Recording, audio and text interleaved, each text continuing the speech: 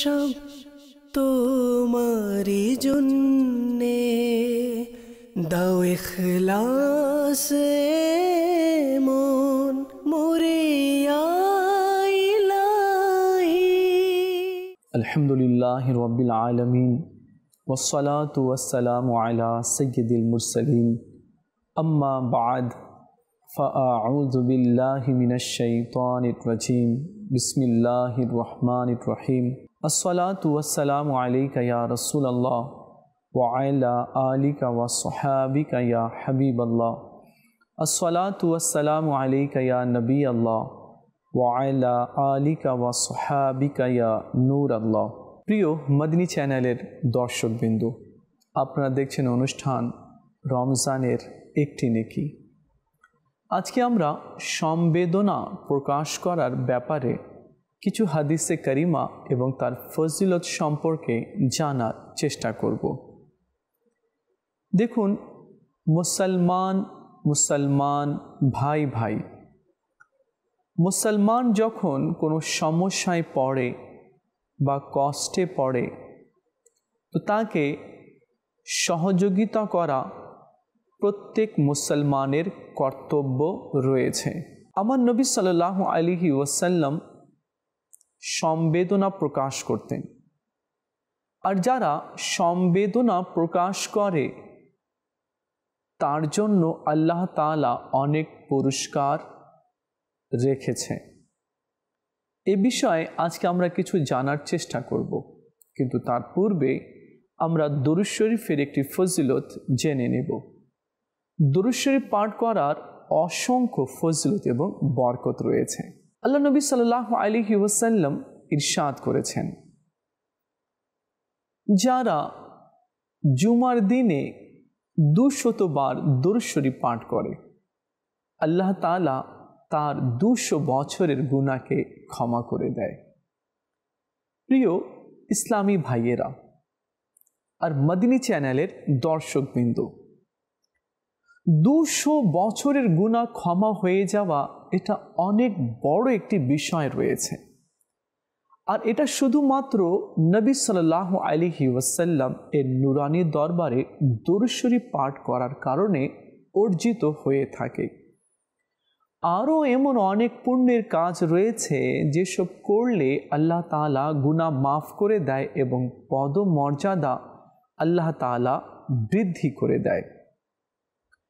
নবী সাল্লাহ আলিহি ওয়াসাল্লামের উপরে দরুদ পড়াটাও অনেক সৌভাগ্যের বিষয় রয়েছে। আল্লাহ তালা যাকে তৌফিক দেয়, তার দ্বারা দরুদ শরীফ পড়িয়ে নেয়। আমরাও দোয়া করব যাতে আল্লাহ তালা আমাদেরকে বেশি পরিমাণে তৌফিক দেয়, যাতে সোনার মদিনাতে হাদিয়া স্বরূপ দরুদ শরীফ প্রেরণ করে পৌঁছাতে পারি। সাল্লু আল হাবিব। সাল্লাহ তালা আলা মুহাম্মদ সাল্লাহ আলিহি ওসাল্লাম প্রিয়, মদিনী চ্যানেলের দর্শকবৃন্দ, যারা নিজের মুসলমান ভাইকে সম্বেদনা প্রকাশ করে, তার সহযোগিতা করে, তার কষ্টে, তার দুঃখে পাশে এসে দাঁড়ায়, তার জন্য কি ফজলত আল্লাহ তালা রেখেছে। চলুন আমরা শুনি। হজরতে সেদনা আবু বকর সিদ্দিক রদিয়াল্লাহ তালহ একটি হাদিসে করিমা নকল করেন। তিনি বলেন কি নবী করিম রফু রহিম সাল্লাহ আলিহি ওসাল্লাম ইরশাদ করেন কি একবার মুসা আলি সালাম আল্লাহ তালার দরবারে আরস করলেন মলা যে ব্যক্তি কোনো মুসলমানের প্রতি সম্বেদনা প্রকাশ করবে, তুমি তার জন্য কি প্রতিদান রেখেছ? আল্লাহ তাআলা ইরশাদ করেন, হে মুসা সালাম, যারা কোনো রোগীর প্রতি সম্বেদনা প্রকাশ করে বা কোনো মুসলমানের প্রতি সম্বেদনা প্রকাশ করে, সে যখন মারা যাবে তো আমি তার কবরে দুটি ফেরেস্তা নিযুক্ত করে দিব। সেই ফেরেস্তা প্রত্যেক দিন তার প্রতি সম্বেদনা প্রকাশ করবে তার কবরে গিয়ে। এমনকি কেমত চলে আসবে। অর্থাৎ কেমত পর্যন্ত দুটি ফেরেস্তা সেই ব্যক্তির কবরে এসে সম্বেদনা প্রকাশ করবে যে জীবিত অবস্থায় মুসলমান ভাইয়ের সম্বেদনা প্রকাশ করেছিল। আজ আমাদের মধ্যে এই আমলটি খুব কম পাওয়া যাচ্ছে। কেউ অসুস্থ হয়ে রয়েছে, কেউ সমস্যায় রয়েছে, তো বা কেউ অনেক দুঃখে রয়েছে এই সমস্ত মুসলমানদের নিকট গিয়ে আমরা সম্বেদনা প্রকাশ করি না। ধীরে ধীরে এটা কম দেখা যাচ্ছে। অথচ আগেকার লোকেরা মানুষের বাড়িতে গিয়ে সম্বেদনা প্রকাশ করত, তাদের খোঁজ খবর নিত এবং তার জন্য দোয়াও করত।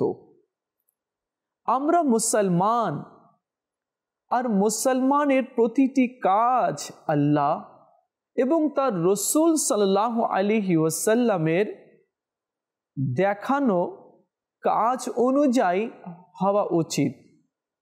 কিন্তু দুর্ভাগ্যক্রমে আজ অধিকাংশ লোকেরা নেকির পথ থেকে দূরে সরে রয়েছে। মুসলমানের হক আদায় করা তো দূরের কথা তাদের হক বিনিষ্ট করছে। অথচ এমন করা কিন্তু ঠিক নয় যে এমনটি করবে, কেয়ামতের দিনে তার থেকে জিজ্ঞাসা বাদ করা হবে। ভালো মুসলমান সে যে মুসলমানের উপকার করে, তাকে হেল্প করে, আর দুঃখে কষ্টে তার পাশে এসে দাঁড়ায়। আমরাও যদি আল্লাহ তালার দরবারে কোনো মর্তবা পেতে চাই, নবী সাল্লাহ আলিহি ওয়াসাল্লামের পছন্দনীয় উন্মতি হতে চাই, তাহলে আমাদেরকেও গরিব, অসহায়, দুঃখী, রোগীদের পাশে দাঁড়াতে হবে। নবী করিম রফু রহিম সাল্লাহ আলিহি ওয়াসাল্লাম ইরশাদ করেন, যখন তোমরা কোনো রোগাক্রান্ত ব্যক্তির নিকট যাবে, তবে তাকে তোমার জন্য দোয়া করতে বলবে। কেননা তার দোয়া ফেরেস্তাদের দোয়ার মতো। ইবনে মাজার দ্বিতীয় খণ্ডে উনিশ পৃষ্ঠার মধ্যে এই হাদিসটি রয়েছে। আমরা যখন কোনো রোগীকে দেখতে যাব সম্বেদনা এক তো প্রকাশ করব এবং তাকে বলব, ভাই, তুমি আমার জন্য দোয়া করো। কেননা রোগী ব্যক্তির দোয়া আল্লাহ তালা কবুল করে থাকে। দেখুন, আমার নবী সাল্লাহ আলিহি ওয়াসাল্লাম কীভাবে জীবন অতিবাহিত করতে হবে, কার সাথে কীরূপ ব্যবহার করতে হবে, তা পুঙ্খানুপুঙ্খানুভাবে আমার নবী সাল্লাহ আলিহি ওয়াসাল্লাম উম্মাতিদেরকে শিখিয়ে দিয়েছেন। আমার নবী সাল্লাহ আলী ওয়াসাল্লাম ইরশাদ করেন, এক ব্যক্তি কোনো শহরের দিকে অগ্রসর হচ্ছিল, কোনো শহরে যাচ্ছিল, আল্লাহ তালা এক ফেরিস্তাকে প্রেরণ করলেন আর বললেন, হে ফেরিস্তা দেখো অমুক ব্যক্তি অন্য কোনো শহরে যাওয়ার জন্য বের হয়েছে। তুমি তাকে জিজ্ঞেস করো কি সে কোথায় যাচ্ছে, কেন যাচ্ছে, কার সাক্ষাতে যাচ্ছে। ফিরিস্তা সে ব্যক্তির নিকট গমন করল আর একটি মানুষের রূপ নিয়ে তাকে জিজ্ঞেস করল, ভাই, তুমি কোথায় যাচ্ছ? কোন উদ্দেশ্যে বের হয়েছ? সে ব্যক্তি বলল আমি আমার বন্ধুর সাথে সাক্ষাৎ করার জন্য, সম্বেদনা প্রকাশ করার জন্য আমি যাচ্ছি।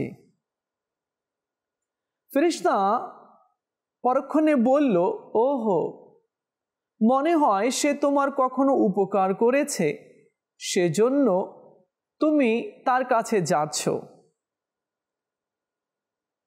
সে ব্যক্তি বলল, না, আমি শুধুমাত্র আল্লাহ তালার জন্য তার সাথে সাক্ষাৎ করতে যাচ্ছি এবং সম্বেদনা প্রকাশ করতে যাচ্ছি। যাতে আল্লাহ তালা আমার উপরে সন্তুষ্ট হয়ে যায়, আমি আমার রবের জন্য, তাকে রাজি খুশি করার জন্য আমি নিজের মুসলমান ভাইয়ের কাছে যাচ্ছি।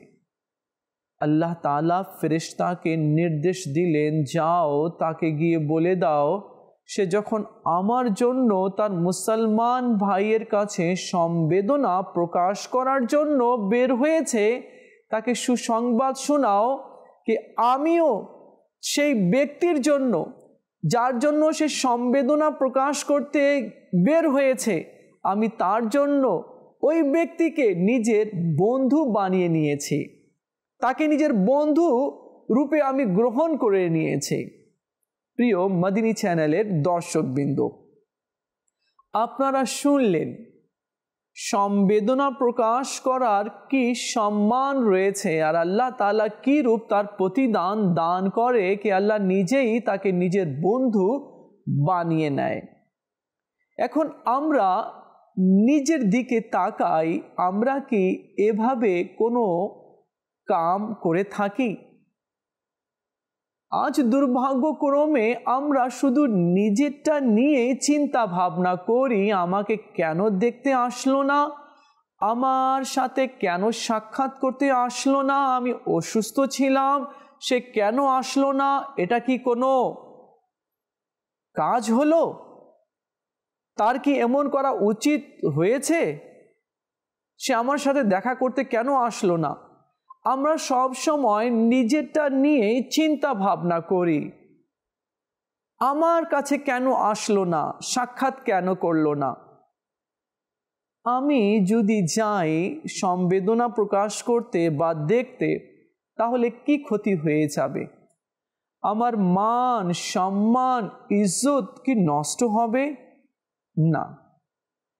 বরং আপনার মান, সম্মান, ইজ্জতকে, মর্তবাকে আল্লাহ তালা বাড়িয়ে দিবে। কেউ আল্লাহর জন্য নত হয় কারও কাছে, আল্লাহর জন্য। তো আল্লাহ তালা তার সম্মানকে বাড়িয়ে দেয়। আর একটি কথা মনে রাখতে হবে, কারও উপকার করলে বা কারও কাছে গিয়ে তার খবর নিলে কখনো সম্মান কম হয় না, বরং আল্লাহ তালা তার সম্মানকে বাড়িয়ে দেয়। সম্বেদনা প্রকাশ করা, ইমামুল আম্বিয়া, আমাদের নবী সাল্লাহ আলিহি ওয়াসাল্লামের সুন্নত রয়েছে। আমার নবী, সমস্ত নবীদের সর্দার। আমার নবীর হাতে আল্লাহ তালা উভয় জাহানের কুঞ্জি চাবি দিয়েছেন। আল্লাহ তালা নিজের বন্ধু করেছেন আর সে দুলহা বানিয়েছেন, নিজের দিদার দিয়েছেন। সমস্ত ইজ্জত আল্লাহ তালা তার নবীকে দান করেছেন। তারপরেও আমার নবী সাল্লাহ আলী ওয়াসাল্লাম মানুষের খোঁজ খবর নিতেন। আমার নবী সাল্লাহ তালা আলিহি ওয়ালিহি ওয়াসাল্লাম এক বেদুইনের সম্বেদনা প্রকাশ করার জন্য তশিফ নিয়ে গেলেন। আর তার একটা পবিত্র অভ্যাস ছিল যে, যখন কোনো রোগীর প্রতি সম্বেদনা প্রকাশ করার জন্য যেতেন, তখন এটা বলতেন, কোনো সমস্যার বিষয় নয়। আল্লাহ তালা যদি চান, তো এই রোগ গুণা থেকে পবিত্রকারী।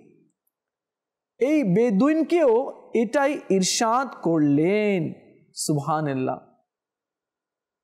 আজ ধনী ব্যক্তি, প্রভাবশালী ব্যক্তি, ক্ষমতাবান ব্যক্তি কি কখনো কোনো গরিব, অসহায়, দুঃখীর কাছে সম্বেদনা প্রকাশ করতে দেখা গিয়েছে? হ্যাঁ তারা যায়, কিন্তু এর সংখ্যা খুবই কম রয়েছে। আমি আমার সমাজের সম্মানিত ব্যক্তি, আপনি আপনার এলাকার সম্মানিত ব্যক্তি। আপনি শুনেছেন অমুক ব্যক্তি সমস্যায় রয়েছে, প্রবলেমে রয়েছে, পেরেশানিতে রয়েছে বা কষ্টে রয়েছে বা অসুস্থ রয়েছে। আপনি শোনা মাত্র তার বাড়িতে গিয়ে তার পাশে বসে কি সম্বেদনা প্রকাশ করেছেন? যদি এমনটি নাই করে থাকি, তাহলে আজ থেকে নিয়ত করি।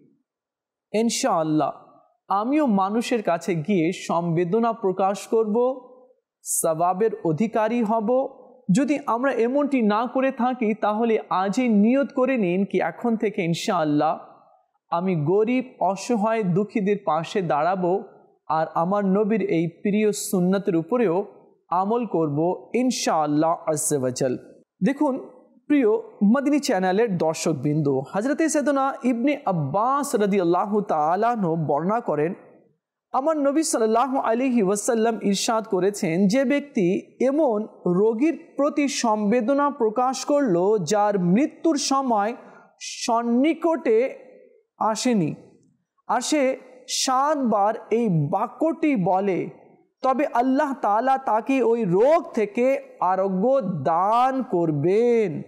তা হচ্ছে, আমি মহান সম্মানিত আরশের আজিমের মালিক, আল্লাহ তালার কাছে তোমার আরোগ্য লাভের প্রার্থনা করছি। কেউ যদি এইভাবে সাতবার বলবে, তো আল্লাহ তালা তাকে অনেক সম্মান দান করবেন এবং আল্লাহ তালা তাকে ওই রোগ থেকে আরোগ্য দান করবে। সুবহানাল্লাহ। সম্বেদনা প্রকাশ করার অনেক ফজিলত এবং বরকত রয়েছে। হজরত সৈদনা আবদুল্লাহ ইবনে আমর বিন আস আল্লাহ তালানো বর্ণনা করেন, নবী করিম রফুর রহিম সাল্লাহ আলী ওয়াসাল্লাম ইরশাদ করেন, তোমরা দয়া করবে। তোমাদেরকেও দয়া করা হবে। তোমরা ক্ষমা করবে। তোমাদেরকেও ক্ষমা করে দেওয়া হবে। যারা নসিয়ত শুনেও শোনে না, তাদের জন্য ধ্বংস রয়েছে। যারা জেনে শুনে বারংবার গুনার কাজ করতে থাকে, তাদের জন্য ধ্বংস রয়েছে। প্রিয় মদিনী চ্যানেলের দর্শকবৃন্দ, আমার নবী সুসংবাদ শুনিয়েছেন, দয়া করো, তোমাদের প্রতি দয়া করা হবে। তোমরা মানুষকে ক্ষমা করো তোমাদেরকেও ক্ষমা করা হবে। আর যারা নসিহত শুনেও, শোনে না, তাদের জন্য ধ্বংস রয়েছে। আজ যখন কেউ কাউকে নসিহত করে, তো পরক্ষণ এসে বলে, তোমার নসিহত তুমি নিজের কাছে রাখো, আমার কাছে আসিও না নসিহত করতে। আমি তোমার চেয়ে অনেক জানি। তোমার নসিহত তোমার পকেটে রাখো। নওজবিল্লা এভাবে বলা কিন্তু ঠিক নয়, আর এভাবে বললে ইমানও নষ্ট হয়ে যাবার সম্ভাবনা রয়েছে। আর আমার নবী সাল্লাহ আলী ওয়াসাল্লাম বলেছেন, যারা নসিহত শুনেও শোনে না, তাদের জন্য ধ্বংস রয়েছে। আল্লাহ আকবর। তো যে ধ্বংস থেকে বাঁচতে চায়, তার উচিত হবে নসিহতের কথাগুলোকে গ্রহণ করে নেওয়া, তার উপরে আমল করা। প্রিয় মদিনী চ্যানেলের দর্শকবিন্দু, এ প্রসঙ্গে আমার নবী সাল্লাহ আলী ওয়াসাল্লাম আরও ইরশাদ করেন। আর এই হাদিসটি হাজরত সেদনা আবু মুসা রদি আল্লাহ তালানো বলেন, আমি শাহেনশাহ মদিনা সাল্লাহ আলী ওয়াসাল্লামকে ইরশাদ করতে শুনেছি, তোমরা একে অপরকে দয়া না করা পর্যন্ত কামিল মমিন হতে পারবে না। আরজ করা হলো ইয়ারসল্লাহ সাল্লাহ আলী হুসাল্লাম আমাদের সবাই কোমল মনের মানুষ। ঈর্ষাদ করলেন, কেবল বন্ধুদের প্রতি দয়া করলেই হবে না, অন্যদের প্রতিও দয়া করতে হবে। হ্যাঁ আমার নবী সাল্লাহ আলী হুসাল্লাম বললেন, তুমি তোমার বন্ধু, তোমার প্রতিবেশী, তোমার আত্মীয় স্বজনের প্রতি দয়া করছ। এর পাশাপাশি আর অন্যান্য যে মুসলমান রয়েছে, আর অন্যান্য যে মানুষ রয়েছে, তার প্রতিও দয়া করতে হবে। আমার নবী সাল্লাহ আলী হুসলাম ইসাদ করেন যার মধ্যে তিনটি বৈশিষ্ট্য বিদ্যমান থাকবে, আল্লাহ তার উপর আপন রহমত নাজিল করবেন, তাকে জান্নাতে দাখিল করবেন।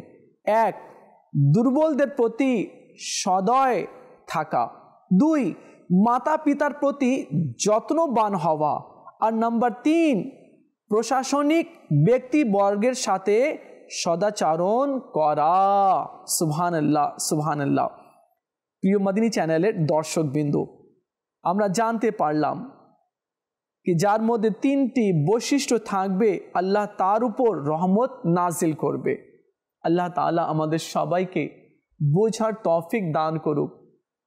মানুষের প্রতি সমবেদনা প্রকাশ করার আল্লাহ আমাদের সবাইকে তফিক দান করুক। দেখা হবে আগামী পর্বে। আরেকটি বিষয় নিয়ে আলোচনা করব। ততক্ষণ ভালো থাকবেন। মদিনী চ্যানেলের সঙ্গেই থাকবেন। সাল্লু আলাল হাবিব সাল্লাহ তালা আলা মুহাম্মদ সাল্লাহ আলহি ওসাল্লাম আমল যেন হয় সব তোমারি জন্যে, দাও ইখলাসে